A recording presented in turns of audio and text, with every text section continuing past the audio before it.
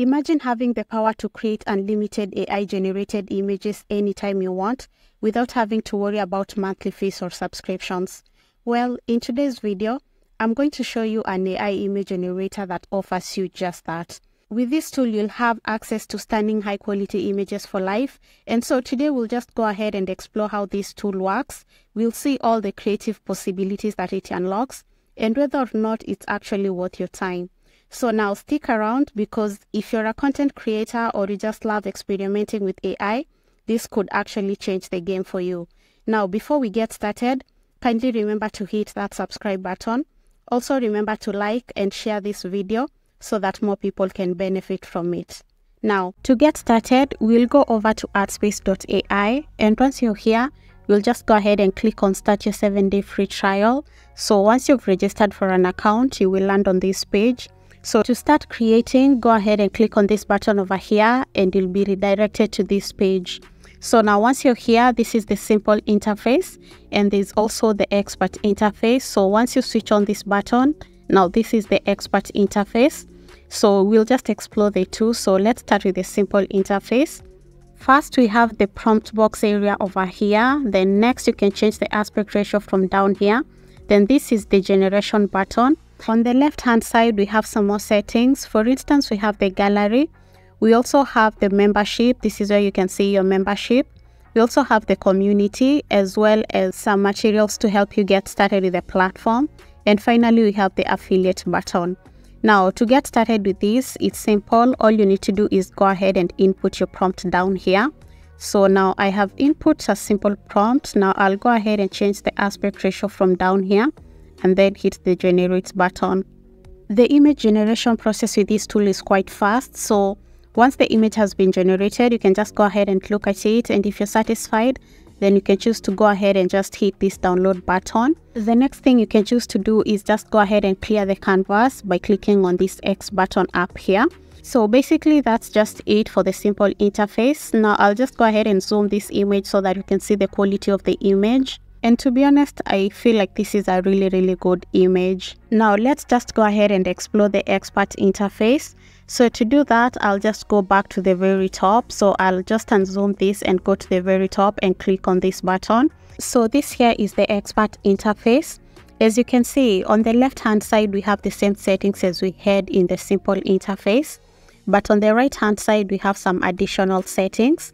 Starting at the very top, we have the model. So you can go ahead and choose any of the models that are available. As you can see, they have quite a number of models that you can go ahead and choose from. So in this case, I'll just go ahead and choose the Nova 2024 Flux. Next up, we have the Boost Visual Vibrance. So you can choose to have this on or off. After that, we also have the Smart Content Filter. If you choose to have this feature off, you're going to see this alert over here. And basically, it just requires you to accept the terms that you're going to create your content responsibly. So I'll just click on I accept, then I'll just go back to the canvas. Next, we have the negative prompt. Now you can go ahead and input anything that you do not want to see in your image. So you can just go ahead and input it there. Next, we have the seed number. So if you have a specific seed number that you want to use for image guidance, you can go ahead and input it over here.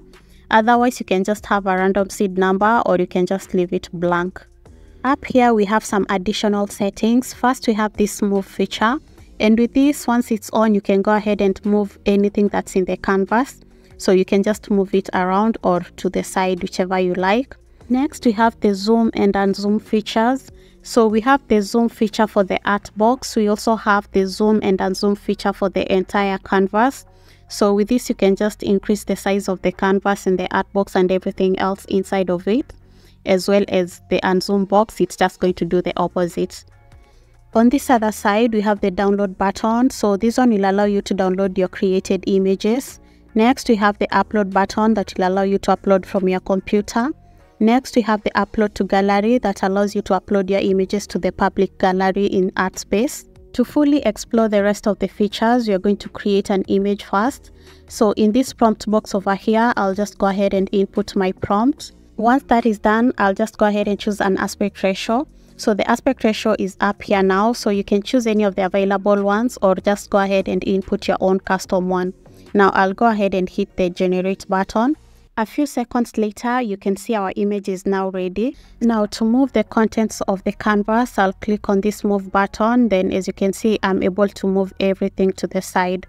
Now I'll just go ahead and input a different prompt because I want to create a different image. Once I input my prompt, I'll just go ahead and click on the generate button because I want to use the same aspect ratio for the second image. And now here we have our image as you can see very nice very quality images. So now let's just go ahead and start exploring some of the features that we have in this expert interface. So let's just do this practically. Now first i'll just go ahead and click on this formula button. Now if you know what you want to create but you do not know how to formulate the prompt all you need to do is just go ahead and input your subject up here. For instance i'm going to say i want uh, maybe an image of a cartoon elephant Next, you can go ahead and choose the style that you want to use. If you know the style that you want to go with, you can go ahead and choose it from all the styles. Next, you can go ahead and choose the artist that you probably want to reference. You can also go ahead and choose the format that you want to go with. But if you do not know any of these things, you can just go ahead and click all this off. Remember, this came already pre-filled and we do not want this information. So we are just going to input our subject. And once that is done, we can we can go ahead and fill the rest on our own or you can just leave them blank. So in this case i'll just go to the very bottom and click inspire. And as you can see everything else has already been filled for us. And at the very bottom we already have a prompt that has been formulated. So now we can just go ahead and click apply.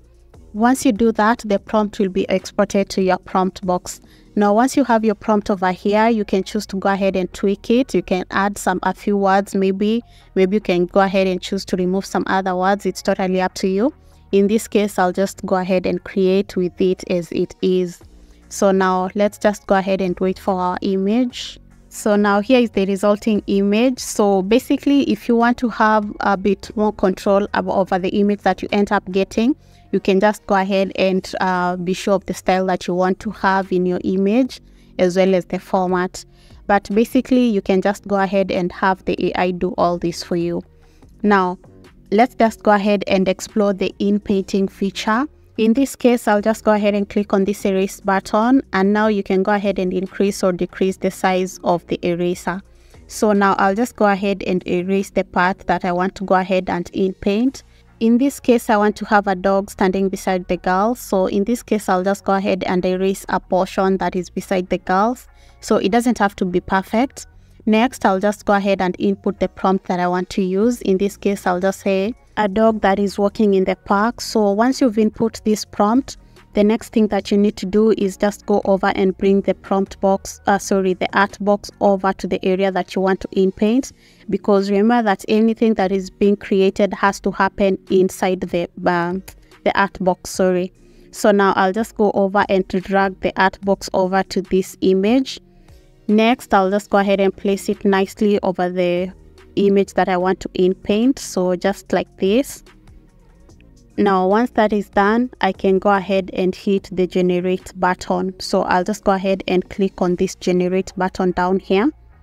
Next, I'll just click OK to this alert. Now I'll just go ahead and reposition the art box. So the art box has to be over the area that I want to in paint. So I'm just going to place it nicely like that, then hit the generate button. Shortly afterwards, here we have our in painted image. Now let me just go ahead and zoom this so that you can see it clearly. As you can see here, we have our dog that is walking beside the girls in the park. Now let's go ahead and explore the outpainting feature. In this case, I'll go ahead and clear the canvas and to do this, I'll go to the very top and click on this clear button. Now I'll just go ahead and click on clear the entire canvas. Don't worry, your images are not lost. Now I'll go ahead and input a different prompt over here so that I can create a different image. So once I do that, I'll just go ahead and hit the generate button. This time I'll just do it a square one. Now here we have the image. Now I want to go ahead and outpaint this image. So I'll go ahead and place this art box where I want it to be so that the image can be the size that I want. So in this case, I'll just go ahead and place it here just like this.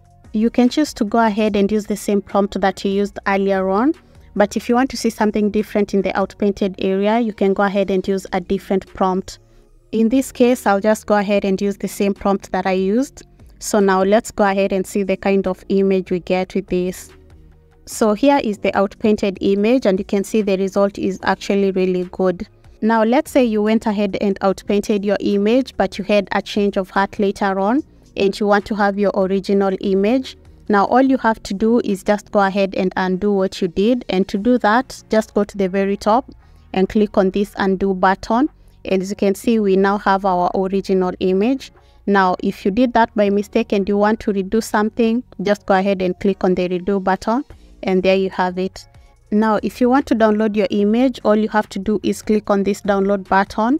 And in this case, you can choose to go ahead and download each image alone. Next, you can choose to download all of them as a carousel or you can choose to download all of them as a zip file. Now, that will apply if you have several images in your canvas. In my case, I can just download the selected image or just go ahead and close this. Next, we have the upload button. So if you want to upload to the gallery, you can go ahead and upload your image if you feel like it's worth showcasing. So you'll be able to upload it to the ArtSpace gallery, to the ArtSpace public gallery. So to do that, all you have to do is click on the confirm button. In my case, I'll just go ahead and close this. Next up, we have the clear button. So in this case, you can go ahead and use it to clear the entire canvas, or you can choose to go ahead and clear a specific image in the canvas. Next up, we have the history button. So with this button, you can go ahead and see all the images that you've been creating. In this case, you'll be able to view the images as thumbnails, but you can also see all the details, including the model that was used to generate the image, as well as the prompt, the dimension, the seed, and the action that you can go ahead and take for that specific image. I'll go to the very bottom and close this. Now, we've been using the same model all through, so I'll just go ahead and choose a different model. So in this case, I'll go ahead and choose the Dream Studio one. Next, I'll just go ahead and input a very simple prompt in the prompt box. In this case, I'll just say I want uh, maybe a cartoon boy. So once that's done again, I'll just hit generate and here we have the images that we wanted. If you look inside the generated image, you can see a number of tools. So first we have zoom, next we have magic and third we have clear. Now we've explored zoom and clear. So in this case, we're just going to explore the magic button. Now, once you click on this, you see there are a number of things that you can do. So first, you can go ahead and upscale the image. Next, we have the restore feature, reimagine feature, face swap, discover the prompt that was used for the image, as well as the remove background feature. Now, I'll just go ahead and use the upscale feature. In this case, the image will be upscaled to the highest possible size, which is 1496 times 1496. So here is the upscaled image. I'll just go ahead and zoom it out so that you can see it clearly. So basically that's it with ArtSpace AI. You can see it's a pretty easy tool to use whether you're using the expert interface or the simple interface. So looking at the pricing plan of this tool, first you can get a lifetime deal for as low as $67. But then again, there are all these other lifetime deals that you can choose to go for depending on your image generation needs. Again, if you do not want a lifetime deal, they also have these monthly plans that you can go for. The monthly plans start for as low as $5 and to be honest, this is one of the most affordable AI image generators that I have seen so far. Now you can go ahead and try this for absolutely free. So they have this 7 day free trial that you can take advantage of.